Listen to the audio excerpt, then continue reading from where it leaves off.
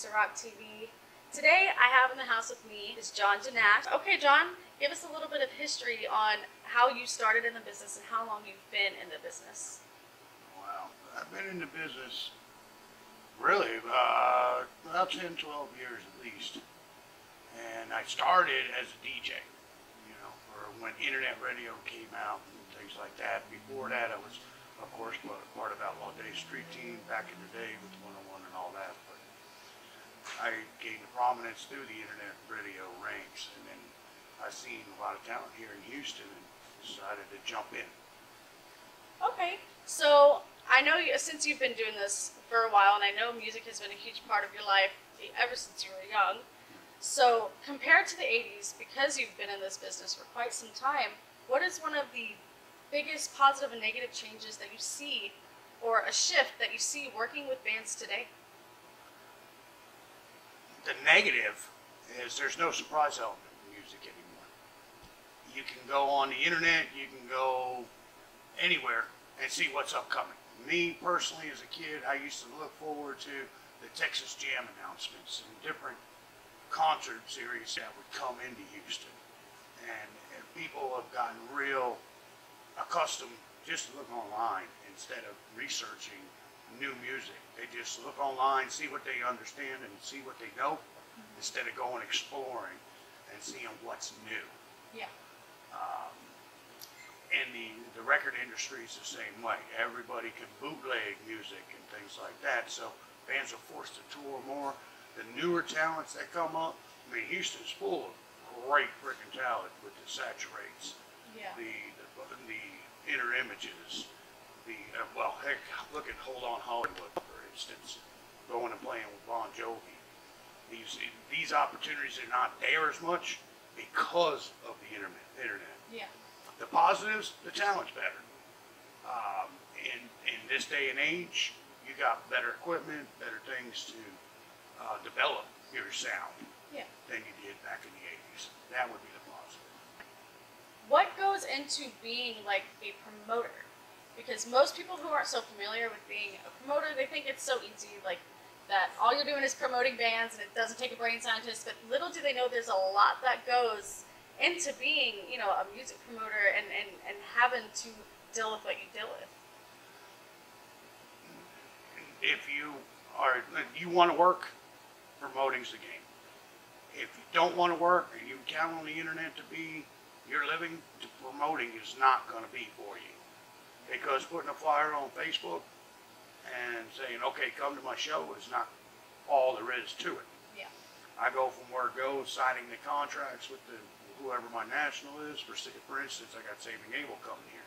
I signed the contract for Saving Abel. I put the the bands on the card. I get the tickets printed, the flyers printed, everything that goes with it. I keep up to date with each and every band. Say, hey, where can I fit you? What do y'all need? You know, I want to make sure everybody's sales are par. If I can't, if their sales ain't part, you know, where I need them, I gotta, I, I gotta be out there and hustling as well. Yeah. But I need to figure out where my weakness is, let alone it be the social networks, need more flyering, need more Facebook ads purchased, whatever needs to be done to fill in those gaps where we're struggling, I gotta figure it out. Yeah. I'm one of those that, that I'm student of what I do. Yeah.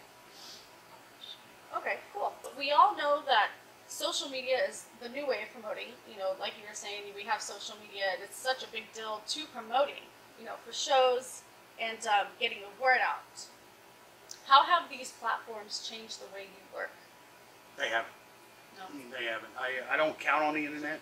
Matter of fact, I think it's piss poor, uh, in my opinion, and that the internet is so strong these days because I like fan interaction. I know the first person that ever bought a ticket from me for a show, and I know the last person that bought a ticket from me for a show. It's just a part of my repertoire and who I am. I'm a very friendly individual as far as fans and things like that because they all count. Yeah. Everybody buys a ticket counts, and doing it all over the internet, it just to me, I don't like it. I think it kills the industry. I think it hurts us. I'm glad it, it helps some of the locals because it can get your fur- music further Yeah. out. But the fan interaction just isn't the same as it once was. Okay. Okay. So, what are five tips to any indie artist or band that are out on the road touring, touring or just you know doing shows that will make both your life easy and theirs when it comes to um, booking shows, etc. You know, perfect example of that would be Horse Drama. Um, they're out touring. Matter of fact, they're overseas right now, which I'm freaking extremely proud of those guys. I brought them in years ago with Straight Line Stitch, just on a whim because they were violin band back then. And I brought them in, and they're the perfect example. They get out, they flyer, they get out and meet their people, and no matter what city, it doesn't make a difference that they're in another country right now, and they're doing that. They're out enjoying the people. And that is what makes it successful. And they got the drive and initiative. You gotta have drive. You gotta have one. If you think your music's good enough and you can sit at home and do it on the computer, my God, there's a several of them. I'll put Theory of Dead Man right under the bus. They should stay home and record music because that's what they do great. Their, their CDs are great. I know I'm not a fan of their freaking uh, show, you know, their stage presence. But then that's one I can think of off the top of my head. If they stay at home, record great CDs, they'll make millions. Then, you know, then if they go out on tour, they're just, it's not there. But Dead Horse Drama, by far. They put the work in. They, they do great, solid music. Every time I, I hear one of their new tunes, it's solid, well thought out, well planned, well executed. They got a great team behind them for recording their music because that's important. Home recordings just doesn't work. And then they get out, they meet each and every one of their fans, and they know their fans when they walk in the door. And that's important. I see a lot of bands, uh, Nonpoint's another good one. They have the same work ethic. I'll tell you what, Rob from Nonpoint, one of the hardest working freaking people I've ever met, and that's why I'm representing them tonight. Mike here Yep. you know, representing them. Representing. You know, and notice we got the two hardest working bands I can think of. and Inner Image is great with their people too. You know, there's several bands Yeah. that are like that, but that's what it takes.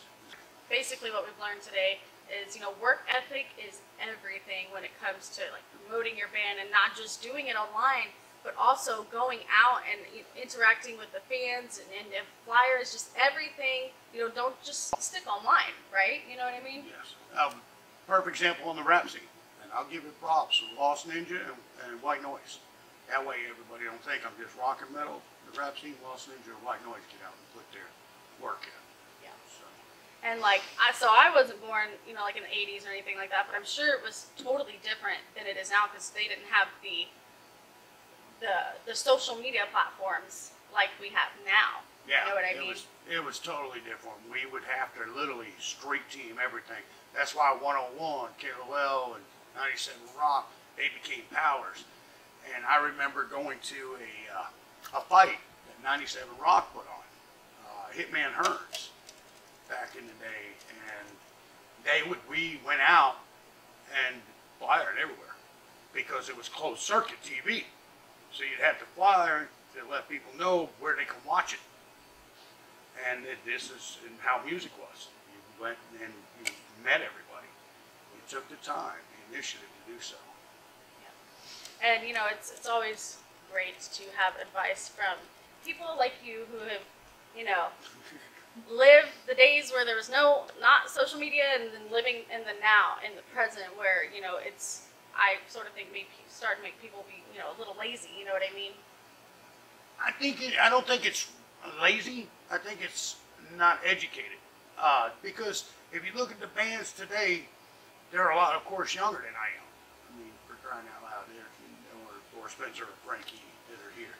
They're not, you know, educated into how we did it back then Yeah. compared to what is done today. Does it always work, wiring up in the neighborhoods and everything? No.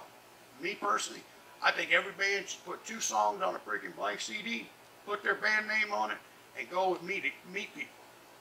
That way they can get an idea of their sound. Say, hey, I got a show coming up such and such date. Here's check out our music. If you enjoy it, come on back. Yeah, like physically, like networking. Yes. Yeah. Is it cheap to do? Is it time consuming? Sure it is. Sure. I freaking used to help uh, saturate Five Eyes Wide and a bunch of them sit down and print CDs all day long. Just just because that's what we love to do. You know, I love helping people out.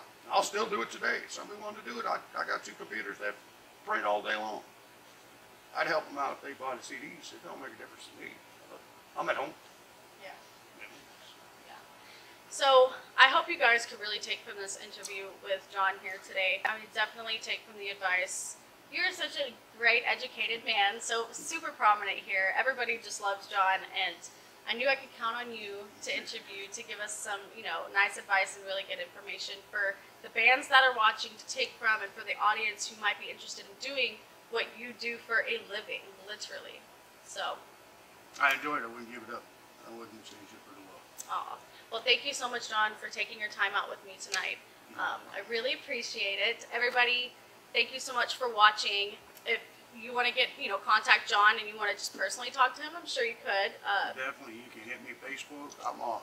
You can hit me on Facebook. You can hit me on Twitter. You can hit me on any social network. Uh, Second Chance Productions. Hit myself. Find me at any of the clubs. BFE Rock Club, Scout Bar, Concert Pub North. I'm there. I'm one of the three at all time, all the time, almost every weekend. So cool. So, you guys just stay tuned for our next episode. Thank you for watching.